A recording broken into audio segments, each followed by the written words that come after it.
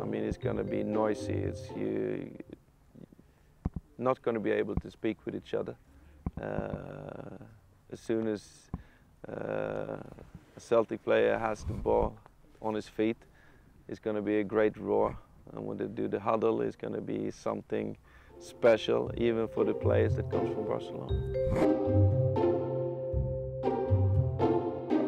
I think it's fantastic the way uh, Celtic defended. It was was a little bit unlucky in the end uh, with the goal in the 94th minute.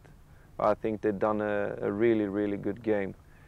They've done themselves really proud, and I think it's important not only for themselves but also for the Scottish game that you can come to away from home against Barcelona and almost upset them. That's very important for for the players and for the managers to know that they, they're on the, the right way, the right track.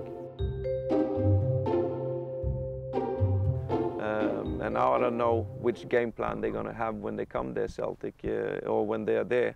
If they're going to attack, I think they're going to attack a little bit more because they're playing home and the supporters uh, behind them as well. So it's going to be uh, hopefully another interesting uh, encounter between uh, two, good, two good teams. It's very hard to attack them. I mean, now, yeah, I think you can upset them a little bit because uh, uh the back four is, uh, I don't think Puyol is going to play. He's not back. Piqué, I'm not sure. Uh, Dani Alves.